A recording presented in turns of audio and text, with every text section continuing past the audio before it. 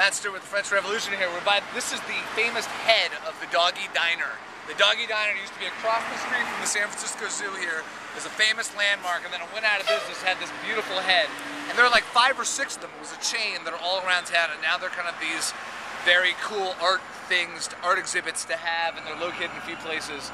Uh, unfortunately, Doggie Diner is long gone. I don't know if the food was any good. Esmeralda and the children on their birthday go across the street, and this used to be the Carousel restaurant as well. It's right here.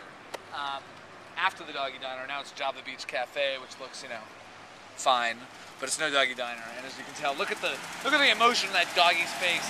Cook, you know, he makes hot dogs.